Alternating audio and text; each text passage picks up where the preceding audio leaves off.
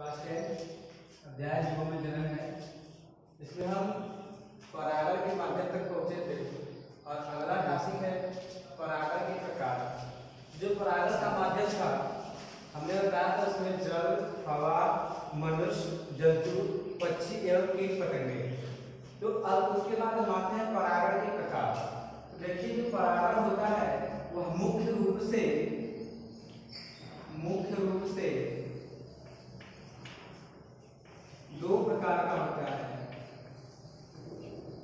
कितने प्रकार का? दो प्रकार का। तो जो पहला है, एक होता है पर परागण पर परागण, और दूसरा होता है स्वपरागण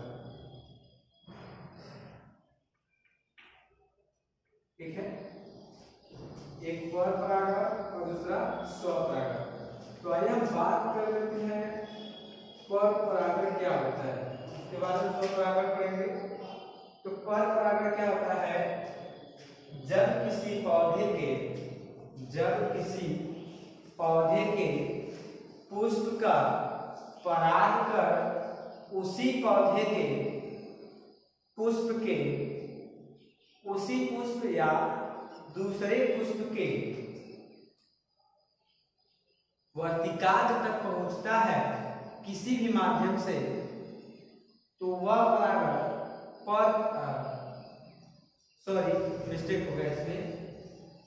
पर परागण कैसे बात कीजिए मिस्टेक हो गया था। जब किसी पौधे के पुष्प का पराग कर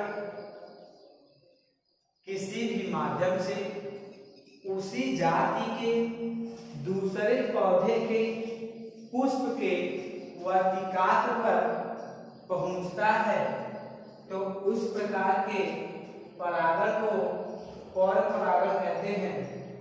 ठीक है? जब किसी पौधे के पुष्प के पराग कर उसी जाति के दूसरे पौधे के पुष्प के वर्तिकात पर पहुँचता है तो उस प्रकार के परागण को पर परागण कहते हैं।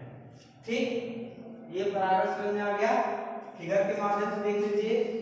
मान लीजिए हमारा कोई प्लांट है।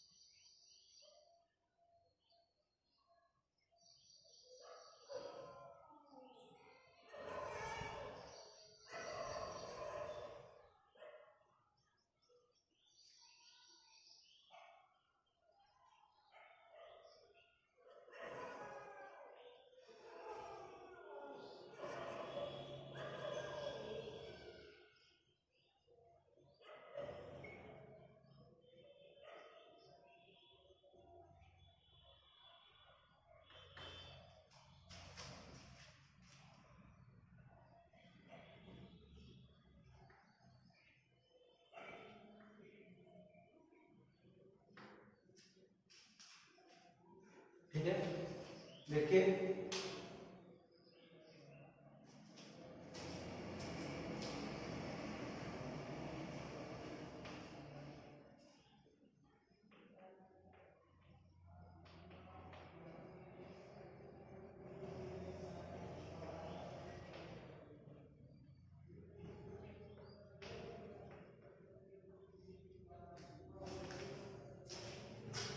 देखिए।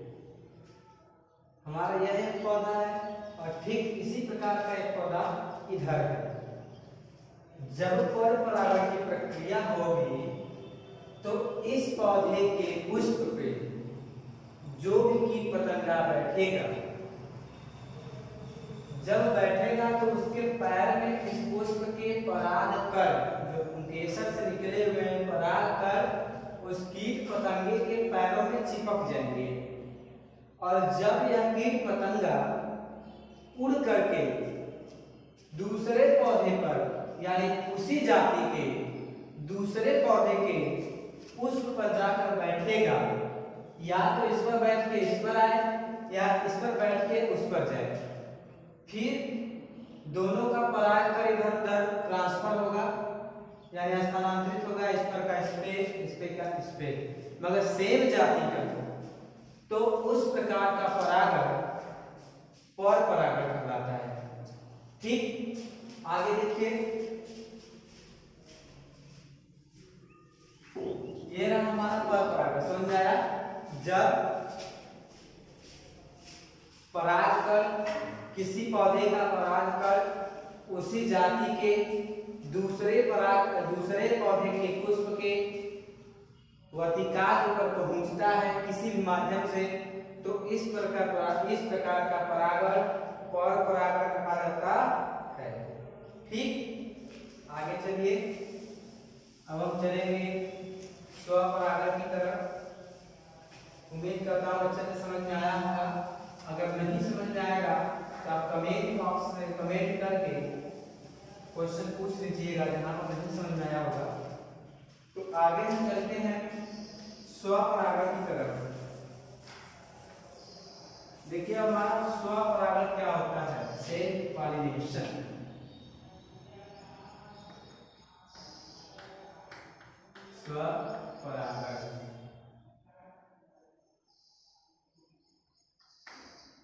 ठीक? स्वपरागण क्या होता है? जब किसी पौधे के पुष्प का परागकण उसी पौधे के, उसी पुष्प के या दूसरे पुष्प के वर्तिकाग्र पर किसी भी माध्यम से पहुँचता है तो इस प्रकार के परागण को स्वपरागण कहते हैं। समझाया जब किसी पौधे के पुष्प का परागकण किसी भी माध्यम से उसी पौधे के उसी पुष्प पर या दूसरे पुष्प पर वर्तिकाग्र पर पहुँचता है तो उस प्रकार के परागण को स्वपरागण कहते हैं। समझ में आया फिगर के माध्यम से देख सकते हैं हम।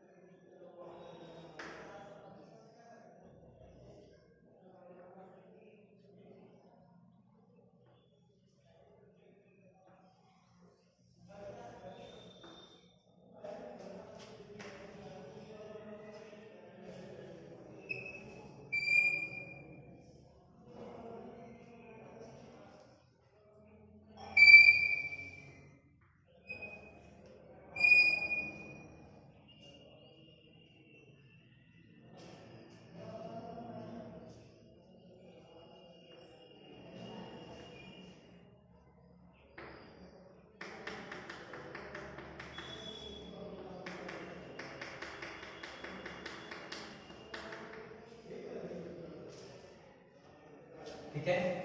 जैसे मान लीजिए हमारा ये कोई पौधा है इसमें पुष्प है।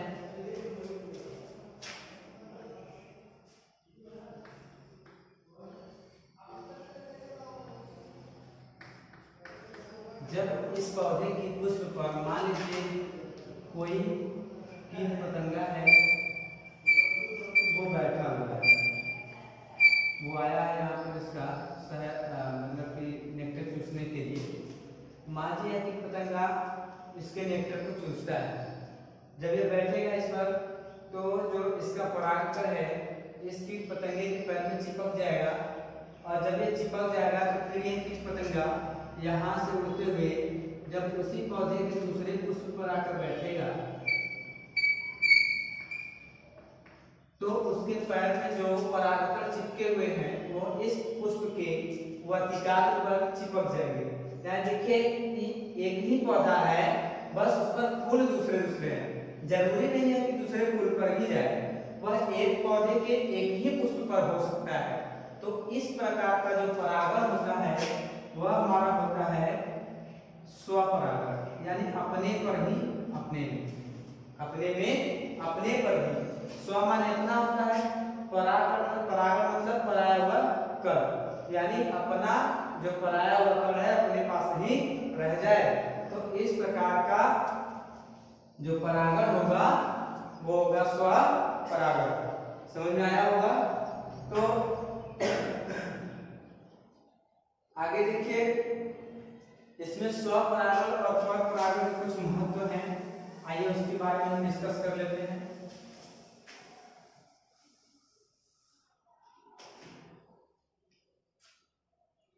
यानी परागण के महत्व। ठीक है? देखिए, सबसे पहला वो होता है नए किस्मों की उत्पत्ति। ठीक दूसरा जो होता है, यानी परागण के बिना नए बीज बनना असंभव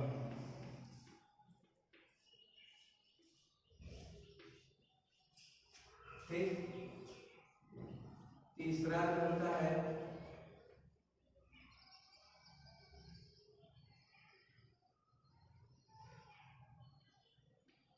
परागण के द्वारा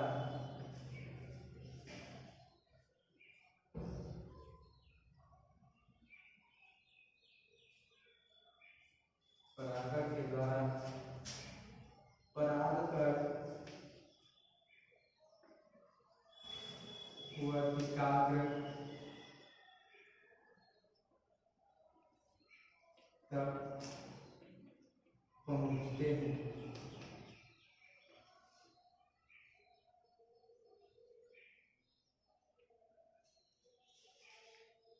ठीक है परागण होगा तभी परागण वर्तिकाग्र तक पहुंचेगा।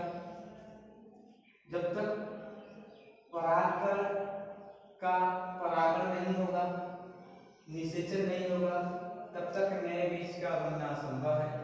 यानी परागण होगा तो निषेचन होगा निषेचन होगा तो नया बीज बनेगा। अब जब नया बीज बनेगा तो परागण के माध्यम से नए बीज जाति की उत्पत्ति हो जाती है। जैसा आप देखोगे अपने आसपास में, जैसे एक लाल कलर का फूल है, एक सफ़ेद कलर का फूल है तो कभी कभी हम देखते हैं कि जो सफ़ेद वाला होता है, उसमें भी लाल और सफ़ेद दोनों रंग का फूल फूलने लगता है। पूरी तरह से तो नहीं, मगर अक्सर आप गुड़हल में देखेंगे, गेंदा में देखेंगे, गुलाब में देखेंगे तो होता क्या इसी परागण के कारण ही होता है कि लाल वाले का जो परागण है सफ़ेद वाले में पहुँच जाता है तो जो जब पुष्प जब फर्टिलाइजेशन हो जाता है, जब उसमें नया पुष्प आता है तो उसके भी उसमें आ जाते हैं। लाल वाले का गुण भी सफ़ेद में रहता है, इसलिए उसमें लाल और सफ़ेद दोनों पुष्प दिखाई देते हैं। ये परागण के माध्यम से होता है थायरोमंडल का नियम भी है। ठीक? तो आगे हम चलते हैं।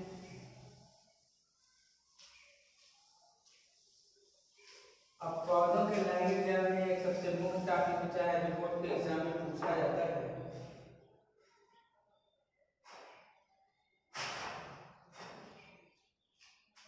कुछ नोट्स हैं, बाद में उसको बता देंगे। आइए पहले इंपॉर्टेंट देते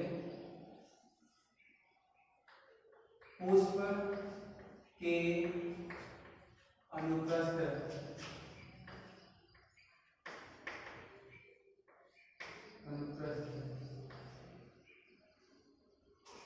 अनुदैर्घ्य अनुप्रस्थ नहीं अनुदैर्घ्य काट का काट का रेखा चित्र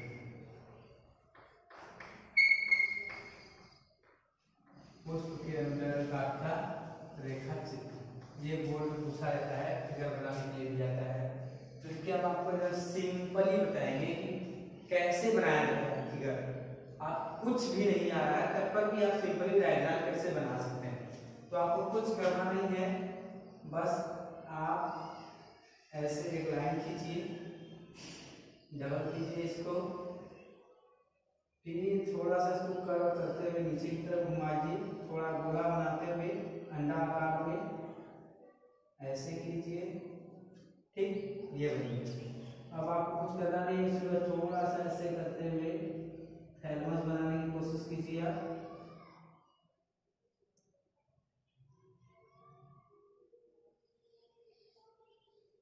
ठीक फिर आगे ऐसे ये हमारा थैलमस बन गया। अब आपको कुछ नहीं करना है, इसके ऊपरी सिरे पर थोड़ा सा गोला बनाता, बनाते हुए इसको बना दीजिए इसमें एक एक स्ट्रक्चर आराम से आसानी से तैयार कर सकते हैं। आगे देखिए, यहाँ से ले जाइए, दो लाइन इसको डबल करिए।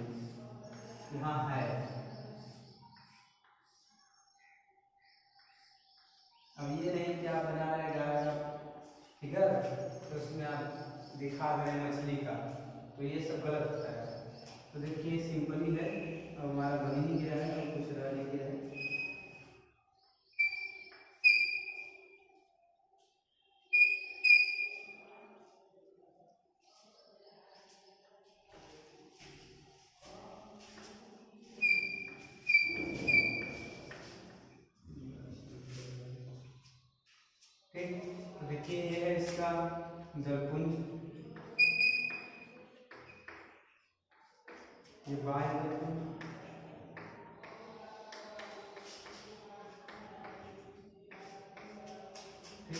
ये इसका रेंटल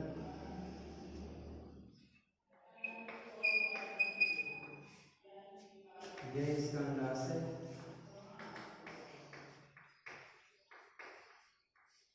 द्वितीय के अंदर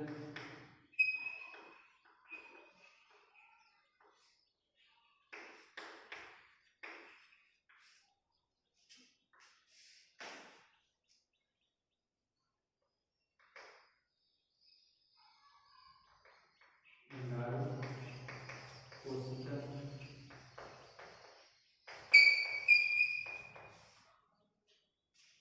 ये हमारा पुंकेसर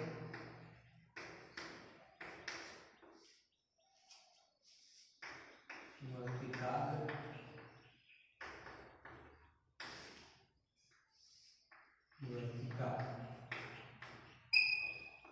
ठीक इतना चीज़ है। यही आपको बोर्ड में आता है बनाने के लिए इसी के बारे में लिखने के लिए तो ये सब के बारे में आपको पढ़ाई किए हैं और ये हमारा फिगर है